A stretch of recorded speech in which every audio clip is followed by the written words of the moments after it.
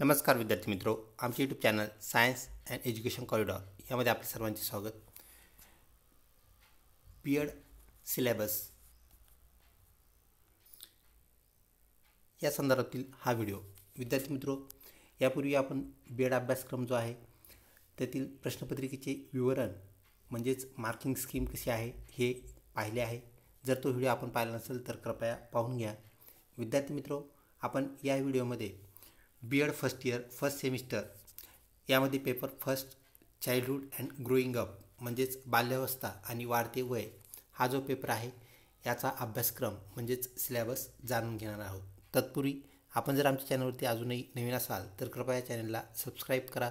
तसेच विद्यार्थी मित्रो चॅनलला कनेक्ट राहा व बेल आयकॉन बटन प्रेस करा जेणेकरून आमचे जे बी एडशी निगडीत सर्व व्हिडिओ आहेत याचे आपल्याला नोटिफिकेशन्स येत राहतील. विद्यार्थी मित्रो जवळपास संपूर्ण भारतामध्ये बी एडचा जो सिलेबस आहे तो आपल्याला जवळजवळ सारखा असलेला पाहायला मिळतो आपण डॉक्टर बाबासाहेब आंबेडकर मराठवाडा युनिव्हर्सिटी औरंगाबाद याच्या सिलेबसच्या अनुषंगाने पहिला जो पेपर आहे तर त्याचा अभ्यासक्रम जो आहे तो या व्हिडिओमध्ये पाहणार आहोत. आपण इथे स्क्रीनवरती पाहू शकता सिलेबस बॅचलर ऑफ एज्युकेशन ज्याला आपण बी एड असं म्हणतो two years course curriculum for the first to fourth semester तर विद्यार्थी मित्रो चारही सेमिस्टरचा सिलेबस एकत्रितपणे आपल्याला इथे पाहायला मिळतो आहे पैकी पहिल्या पेपरचा सिलेबस आपण पाहत आहोत. बी एड फर्स्ट सेमिस्टर विद्यार्थी मित्रो विद्यापीठनिहाय मार्किस मार्किंग स्कीम आपल्याला बदललेली पाहायला मिळते. तर या विद्यापीठामध्ये फर्स्ट पेपर जो आहे चाइल्डहूड अँड ग्रोईंग अप सर्व विद्यापीठामध्ये हा पेपर आहे. ही बाब आपण लक्षात घ्या. त्याला आपण पेपर फर्स्ट म्हणू. फक्त पेपर कोड त्या त्या विद्यापीठाच्या अनुषंगाने चेंज होतात. येथे जो पेपर कोड आपल्याला पाहायला मिळतो हाच पेपर कोड आपल्याकडे असेल असं म्हणता येणार नाही. परंतु विद्यार्थी मित्रो पेपर मात्र नक्की आपल्याकडे हा असेल. तर मार्किंग स्कीममध्ये विद्यार्थी मित्रो पहिला जो पेपर आहे तर तो शंभर गुणांचा असून डॉक्टर बाबासाहेब आंबेडकर युनिव्हर्सिटी यामध्ये ह्याचं डिस्ट्रीब्युशन ऐंशी मार्क्ससाठी थेअरी व इंटरनल मार्क्स ट्वेंटी असं डिस्ट्रीब्युशन आपल्याला पाहायला भेटतं आहे विद्यार्थी मित्रो काही विद्यापीठामध्ये साठ मार्कांची थिअरी तर चाळीस मार्क्सचं आपल्याला प्रॅक्टिकल म्हणजेच इंटरनल असेसमेंट असलेलं पाहायला मिळतं. त्या त्या विद्यापीठा अनुषंगाने ह्या शंभर मार्क्सचं डिस्ट्रीब्युशन प्रत्येक पेपरसाठी आपल्याला पाहायला मिळतं तर विद्यार्थी मित्रो पेपर फर्स्ट ज्याचं नाव आहे चाइल्डहूड अँड ग्रोईंग अप म्हणजेच बाल्यावस्था आणि वाढते वय किंवा ज्याला आपण वाढ असं म्हणतो. तर विद्यार्थी मित्रो शंभर मार्क्सचा हा पेपर आहे. लर्निंग आउटकम्स हा पेपर आपण अभ्यासल्यानंतर म्हणजेच फर्स्ट सेमिस्टरमध्ये हा अभ्यासल्यानंतर आपल्याला यातून काय शिकायला मिळेल? म्हणजे ज्याला आपण अध्ययन निश्चिती असं म्हणत असतो. The course will enable the student teachers to विद्यार्थी व शिक्षक यांना यातून काय मिळेल? हे आपल्याला इथे त्यांनी नमूद केलं आहे तर विद्यार्थी मित्र चला सर्वात अगोदर ते पॉईंट आऊट केलेले जे बाबी आहेत त्या आपण पाहूया. Reflect on the role of socio cultural con context in shaping human development especially with respect to the Indian context तर विद्यार्थी मित्रो भारतीय जे सामाजिक आणि सांस्कृतिक जे कल्चर आहे ते आपल्या शिक्षणाशी तसेच मानवी विकासाशी कसे संबंधित आहे ही बाब आपल्याला यातून मिळणार आहे माहीत होणार आहे. त्यानंतर suitable child development in a socio cultural context तर बालकाच्या शैक्षिक शैक्षणिक विकासासाठी सामाजिक व सांस्कृतिक ज्या बाबी आहेत त्या कशा निगडीत आहेत कसा त्याचा विकास म्हणजेच डेव्हलपमेंट साधतात हेही आपल्याला कळेल. त्यानंतर विद्यार्थी मित्रो development theoretical perspectives and understanding of dimension and stages of human development. मानवी विकासाचे जे टप्पे आहेत विद्यार्थी मित्रो हे आपल्याला या अनुषंगाने उमजतील म्हणजेच समजतील. त्यानंतर विद्यार्थी मित्रो understand individual differences among the learners विद्यार्थी मित्रो लर्नर म्हणजेच अध्ययन करता. तर अध्ययन करता म्हणजेच शिकणारा विद्यार्थी मित्र ज्यांना आपण स्टुडंट असं म्हणतो तर इथे त्यांनी सांगितलं की स्टुडंटमध्ये काय असतात? इंडिव्हिज्युअल डिफरन्सेस असतात. वैयक्तिकरित्या सर्व स्टुडंट वेगवेगळे असतात. त्या संदर्भातची आपल्याला यात माहिती मिळणार आहे. त्यानंतर विद्यार्थी मित्रो understanding cognitive processes and affective processes in learners तर ह्या लर्नरमध्ये जो बोध होत असतो कॉग्नेटिव्ह म्हणजेच बोध होण्याची प्रक्रिया आहे माहीत होण्याची प्रक्रिया आहे म्हणजे ज्ञान अवगत होणे आपण ज्याला म्हणतो तर ते ज्ञान कसं अवगत होतं त्याचे जे त्या लर्नरवरती काही बाबी काय करतात अफेक्ट करतात म्हणजेच काय परिणाम करणारे काही घटक असतात हे घटक घटकही आपल्याला यातून काय होतील समजतील. त्यानंतर विद्यार्थी मित्रो understanding adolescence stage of human development विद्यार्थी मित्रो याला मराठीमध्ये आपण पोगांड अवस्था असे म्हणत असतो. म्हणजेच विद्यार्थी मित्रो बाल्यावस्था व अडल्ट ज्याला आपण तरुण असं म्हणतो. ह्या दोघांच्या मधला हा पूल असतो ब्रिज असतो. म्हणजेच पोगांडावस्थेचं वय ज्याला आपण म्हणतो जे की अकरा ते एकोणावीस असं आपल्याला पाहायला मिळतं. त्यामध्ये बालकामध्ये विविध बदल होत असतात. मग शारीरिक मानसिक बदल सामाजिक बदल त्याला अनुभवायला मिळतात पाहायला मिळतात. तर त्यालाच आपण पौगंडावस्था म्हणतो. तर ही मानवी विकासाचा एक टप्पा आहे डेव्हलप ह्युमन डेव्हलपमेंटचा एक टप्पा आहे आणि त्या संदर्भात आपल्याला इथे या संदर्भात माहिती काय होणार आहे मिळणार आहे ज्ञान अवगत होणार आहे. त्यानंतर विद्यार्थी मित्रो पुढची अजून एक बाब आपल्याला कळणार आहे ती म्हणजेच analyse the implications of understanding human development for teachers म्हणजेच विद्यार्थी मित्रो शिक्षकांसाठी मानवी जो विकास आहे ह्युमन डेव्हलपमेंट जे आहे तर याचा सहसंबंध कसा आहे? म्हणजे मानवी विकास आणि शिक्षक यांचा जो संबंध आहे तो आपल्याला इथे काय करायचा आहे? अनुभवाचा आहे अभ्यासाचा आहे. म्हणजेच मानवाच्या विकासातील जे टप्पे आहेत ते शिक्षणावर कसे परिणाम करतात? बालकांची शिक्षण शिक्षण शिक्षण घेण्याची प्रवृत्ती कशी असते? पौंडावस्थेतील विद्यार्थ्यांची कशी असते? तरुणांची कशी असते?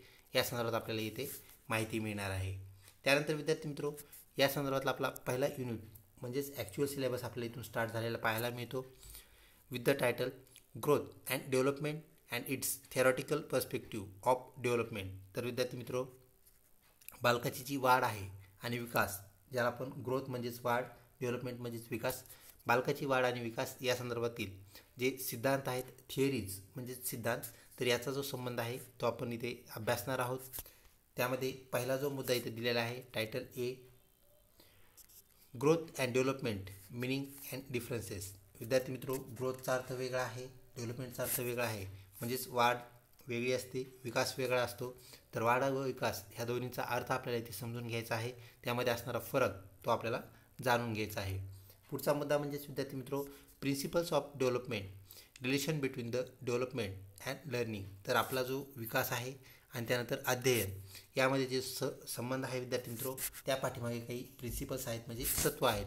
तर आपल्या विकासामागील तत्त्व असा एक मुद्दा आपल्याला इथे काय करायचा आहे अभ्यासायचा आहे. व्हिडिओ आवडत असल्यास नक्कीच लाईक करा. तसेच या संदर्भातील कुठलीही आपली शंका कुशंका असेल नक्कीच कमेंटमध्ये आम्हाला कमेंट करा. त्याचं आपल्याला शंभर टक्के उत्तर दिलं जाईल.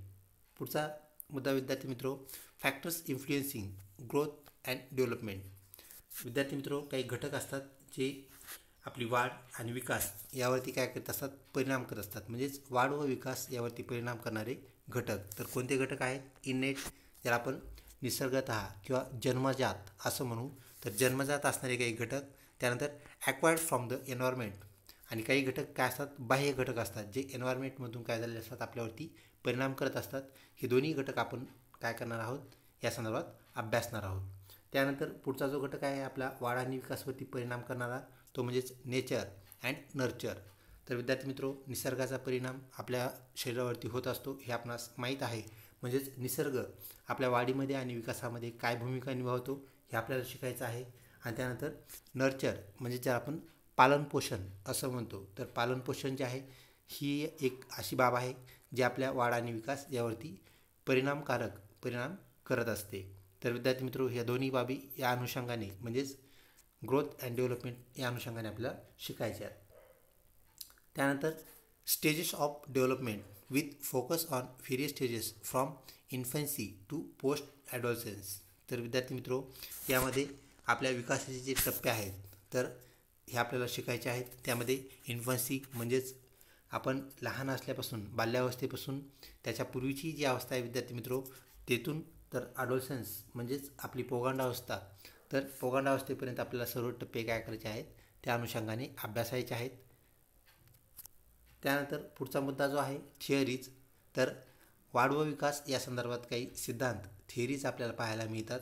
तर विद्यार्थी मित्रो त्यामध्ये जीन प्याजेट यांची जी कॉग्नेटिव्ह डेव्हलपमेंट म्हणजेच बोधात्मक जो विकास आहे तो कसा होतो या संदर्भात त्यांचा सिद्धांत आहे तो आपल्याला अभ्यासायचा आहे. त्यानंतर लॉरेन्स कोलबर्ग्स थिअरी विद्यार्थी मित्रो हा पण एक सिद्धांत आपल्याला या संदर्भात अभ्यासायचा आहे ज्याला आपण मॉरल डेव्हलपमेंट असं म्हणत असतो. त्यानंतर लेवल्स ऑफ लर्निंग तर गॅगने यांचे लेवल्स ऑफ लर्निंग म्हणजेच शिकण्याचे जे टप्पे आहेत ज्याला आपण अध्ययन म्हणतो. तर अध्ययनाचे जे स्तर किंवा टप्पे जे आहेत ते आपल्याला काय करायचे आहेत? या अनुषंगाने अभ्यासायचे आहेत. विद्यार्थी मित्रो पुढचा जो युनिट आहे युनिट सेकंड स्क्रीनवरती आपण पाहू शकता. Understanding childhood and adolescent socio cultural perspective तर जे पोगांडावस्था आहे विद्यार्थी मित्रो आणि बाल्यावस्था आहे म्हणजे चाइल्डहूड तर यांचा सहसंबंध आपल्याला सामाजिक तसेच सांस्कृतिकदृष्ट्या कसा त्याचा संबंध जोडलेला आहे त्यांचा सहसंबंध कसा आहे हे अभ्यासाचं आहे. यामध्ये पहिला मुद्दा असा characteristic of childhood stage with reference to physical म्हणजेच आपले शारीरिक मेंटल मानसिक इमोशनल म्हणजेच आपला भावनात्मक विकास आणि त्यानंतर सोशल म्हणजे सामाजिक आणि विद्यार्थी मित्रो मॉरल डायमेन्शन्स म्हणजे समाजाने आपल्याला काही बंधने घालून दिलेली असतात. या संदर्भात सर्व बाबींचा आपल्याला सर्वकष अभ्यास करायचा आहे. त्यानंतर पुढचा घटक childhood and growing up in the contexts of marginalisation then stereotyping then issues and the implications of the changing family structure and parenting on growing up with the respect to attachment and bonding तर विद्यार्थी मित्रो या संदर्भात आपल्याला अधिकची जी माहिती पाहिजे आहे ती म्हणजेच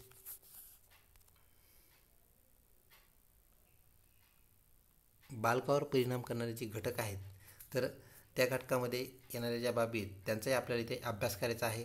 त्यानंतर विद्यार्थी मित्रो childhood in different circumstances circumstances म्हणजे विविध आयामातून आपल्याला काय करायचं आहे? ह्या लहान मुलावर बाल्यावस्थेतील मुलावर होणारे जे परिणाम आहेत ते अभ्यासाचे आहेत. मग ते कोणते सर्कमटन्सेस आहेत? इथं दिलं जेल म्हणजेच अपराधी अस अपराधी असणारे बाल्यावस्थेतील मुले असतील त्यानंतर वार अफेक्टेड फॅमिलीज तर युद्धामुळे काही विचलित झालेल्या ज्या फॅमिलीज असतील कुटुंब असतील त्यांची मुलं असतील कॉम्प्लिक्ट सिच्युएशन काही अवघड कंडिशन्स सिच्युएशन्स असतील त्या सिच्युएशनमधील मुले त्यानंतर urban slum area tribal families आदिवासी फॅमिलीतील मुलं असतील तर यांच्या ज्या समस्या आहेत या सर्वांच्या समस्या सारख्या नाहीत. सुरुवातीलाच आपण पाहिलं की there are differences in the learners learners म्हणजे जे डिफरन्सेस आहेत त्या अनुषंगाने एक मोठा घटक आपल्याला परिणाम करताना पाहायला भेटतो जो की आपलं चाइल्डहूड अँड ॲडोल्सन्स या घटकानुसार आपल्याला अभ्यासायचा आहे. त्यानंतर पुढचा मुद्दा characters of adolescent children with reference to physical mental emotional social and the moral dimensions त्यानंतर विद्यार्थी मित्रो पुढचा मुद्दा जो दिलेला आहे आपला issues and concerns of adolescent children problems of adjust adjustment understanding of emotional dis disturbances and risk behaviour तर हे घटकही आपल्याला अभ्यासायचे आहेत. तर अडोल्सन स्टेजला विद्यार्थ्यांमध्ये लर्नरमध्ये वेगवेगळे काय असतात? समस्या असतात. तर त्या समस्यांना त्यांना ॲडजस्टमेंट कशी करायची? म्हणजेच समायोजन कसं करायचं? त्यानंतर अंडरस्टँडिंग ऑफ इमोशनल डिस्टर्बन्सेस त्याच्यामध्ये काही भावनात्मक काही डिस्टर्बन्सेस असतात ते दूर कसे करायचे? त्यानंतर रिस्क बिहेवियर त्यांना जी भावना असते मनामध्ये तर भीतीची भावना त्यांच्या मनामध्ये वर्तणूक त्यांची आपल्याला पाहायला मिळते. तर त्या संदर्भातला आपल्याला अभ्यास करायचा आहे. आयडेंटिटी क्रिसिस आपल्याला माहीत आहे. लहान मुलांना आपण त्यांचं नाव विचारल्यानंतर ते नाव सांगायला संकोच करतात. तर आयडेंटिटी क्रिसिस आपल्याला तो पाहायला मिळतो. तोही आपण इथे अभ्यासणार आहोत. त्यानंतर पॅरेंट चाइल्ड कॉन्फ्लिक्ट. तर पॅरेंटमध्ये म्हणजेच मातापित्यावर जर काही वाद असतील तर त्याचाही परिणाम त्या मुलावर होत असतो. तोही आपल्याला इथे अभ्यासायचा आहे. त्यानंतर ड्रग ॲडिक्शन. विद्यार्थी मित्रो ज्याला आपण ड्रग्स घेणे असं म्हणतो. त्यानंतर ॲब्यूज. त्यानंतर बुलिंग. म्हणजेच छळ कपट त्यानंतर जिवेनाईल डेलिक्वेन्सी. म्हणजेच विद्यार्थी मित्रो ज्याला आपण बालगुन्हेगार असं म्हणतो किंवा बाल अपराध असं म्हणतो. त्यानंतर चाइल्ड अब्यूज. आणि बालकांचा गैरवापर ज्याला आपण म्हणूया तर ह्या बाबी ज्या आहेत तर आपल्याला माहीत आहे बालमजुरीसारखे भाग असतील तर हे घटक हे ते आपल्याला त्या अनुषंगाने अभ्यासायचे आहेत. विकासावरती वाढीव त्याचा परिणाम कसा होतो हेही आपल्याला काय करायचं आहे सखोलपणे अभ्यासायचं आहे. तर ह्या सर्व घटकांचा संबंध डायरेक्टली आपल्याला लर्निंगसोबत म्हणजेच अध्ययनाशी पाहायला मिळतो. त्यामुळे हे सर्व घटक आपल्याला सखोलपणे अभ्यासने क्रम पाहत आहे. त्यानंतर विद्यार्थी मित्रो पुढचा जो युनिट आहे unit third personality of child and motivation तर बालकाची जी पर्सनॅलिटी आहे आणि त्याला मिळणारी जी प्रेरणा आहे ह्या दोन्ही बाबी आपल्याला इथे अभ्यासायचं आहेत. त्यामध्ये पहिला मुद्दा जो इथे दिला आहे तो म्हणजेच पर्सनॅलिटी सगळ्यात अगोदर आपल्याला त्याचं अर्थ समजून घ्यावा लागेल. त्यानंतर त्याची व्याख्या म्हणजेच डेफिनेशन आणि त्याचं नंतर स्वरूप म्हणजेच नेचर त्यानंतर डेव्हलपमेंट ऑफ पर्सनॅलिटी जी आपली पर्सनॅलिटी असते ती कशी डेव्हलप होते हे आपल्याला अभ्यासायचं आहे. रोल ऑफ फॅमिली तर आपला आपली जी फॅमिली आहे आपली पर्सनॅलिटी तयार करण्यामध्ये फॅमिलीचा कसा सहभाग असतो शाळेचा कसा सहभाग असतो आणि समाजाचा कसा सहभाग असतो या सर्व बाबीमधून आपलं व्यक्तिमत्व उभारत असतं तयार होत असतं. तर त्याला आपण डेव्हलपड पर्सनॅलिटी असं म्हणत असतो. त्यानंतर विद्यार्थी मित्रो पुढचा मुद्दा जो अभ्यासाचा आहे तो म्हणजे C Carl Jung's state approach of personality then Sigmund Freud approach of personality तर दोन शास्त्रज्ञांचे आपल्याला इथे सिद्धांतही पाहायचे आहेत. त्या अनुषंगाने पर्सनॅलिटी म्हणजेच व्यक्तिमत्व कसं तयार होत असतं कसं उभारत असतं हे आपल्याला समजेल. त्यानंतर विद्यार्थी मित्रो role of teacher in development of personality of a child तर शिक्षकाचा एक मोठा रोल आपल्याला यामध्ये पाहायला मिळतो. प्राथमिक शिक्षक असतील पोगांडावस्थेतील म्हणजेच माध्यमिक शिक्षक असतील. तर विद्यार्थी मित्र ह्याच्यात आपला एक मोठा रोल आपल्याला पाहायला मिळतो. या अनुषंगाने आपल्याला या तिन्ही चॅप्टरचा काय करायचा आहे? अभ्यास करायचा आहे. त्यानंतर पुढचा जो मुद्दा आहे आपल्याला पर्सनॅलिटी डेव्हलपमेंटमध्ये पाहायचा तो म्हणजेच मोटिवेशन ज्याला आपण प्रेर प्रेरणा असं म्हणत असतो. तर त्याचा अर्थ आपल्याला जाणून घ्यायचा आहे. त्या त्यानंतर त्याची व्याख्या त्यानंतर प्रेरणेचे प्रकार त्यानंतर प्रेरणेचे स्रोत म्हणजेच सोर्सेस आपल्याला प्रेरणा कुठून मिळू शकते? तर याला आपण त्याचे स्रोत असं म्हणतो.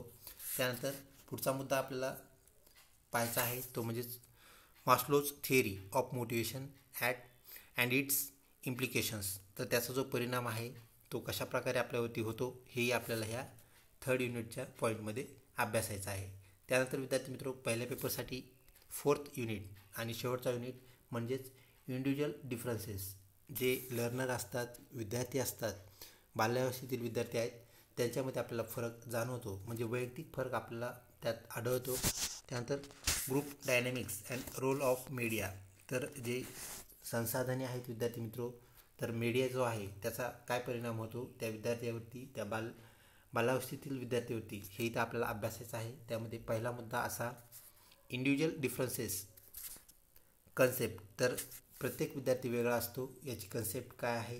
त्यानंतर त्याचा अर्थ काय आहे? त्यानंतर विद्यार्थी वेगवेगळ्या प्रकारचे कसे असतात म्हणजे त्यांचे प्रकार त्यानंतर inter and intra individual differences तर वैयक्तिक आणि विद्यार्थी मित्र व्यक्तिगत जे असणारे फरक आहेत डिफरन्सेस आहेत ते कसे असतात हेही आपल्याला इथे काय करायचं आहे जाणायचं आहे. त्यानंतर पुढचा मुद्दा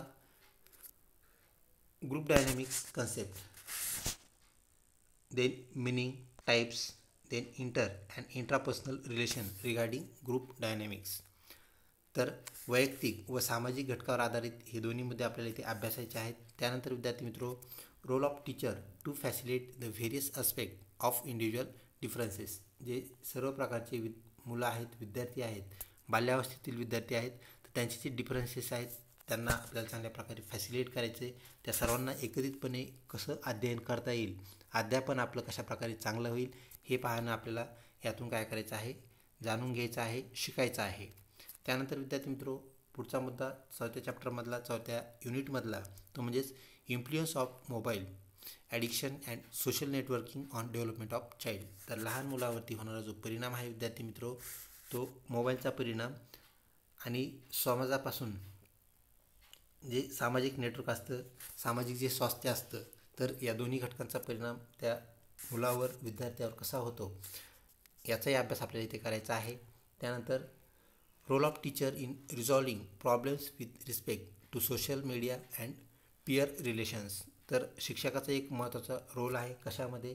तर रिझॉल्विंग प्रॉब्लेम्स तर त्यांच्या ज्या समस्या आहेत त्या दूर करण्यामध्ये विद्यार्थ्यांच्या समस्या दूर करण्यामध्ये. तर ह्या ज्या समस्या आहेत त्याला आपण पियर टीम तयार करून पियर रिलेशन म्हणजेच एक सहृदय रिलेशन नातं तयार करून आपण त्या मुलांना यातून बाहेर काढू शकतो. कुठलं त्यांना ॲडिक्शन असेल त्यातून बाहेर काढू शकतो. ते कशा प्रकारे हे आपल्याला या अनुषंगाने काय करायचं आहे शिकायचं आहे. तर विद्यार्थी मित्रो अशा प्रकारचा आपला पेपर फर्स्टचा सिलेबस आपल्याला पाहायला मिळतो. उर्वरित पेपरचे सिलेबस म्हणजेच पेपर सेकंड व थर्ड जो की सर्व विद्यापीठामध्ये तिन्ही पेपर आपल्याला सारखे असलेले पाहायला मिळतात. त्याचा सिलेबस आपण पुढील व्हिडिओमध्ये पाहू. व्हिडिओ आवडला असल्यास नक्कीच लाईक करा. तसेच मित्रपरिवारामध्ये शेअर करण्यास विसरू नका. विद्यार्थी मित्रो हे जे सर्व युनिट्स आहेत त्यामध्ये पॉईंट बाय पॉईंट आपण याचा व्हिडिओ लेक्चर सिरीज तयार करणार आहोत. यासाठी आपण नक्कीच चॅनलला सबस्क्राईब करा. लवकरच भेटूया पुढच्या व्हिडिओमध्ये तोपर्यंत धन्यवाद.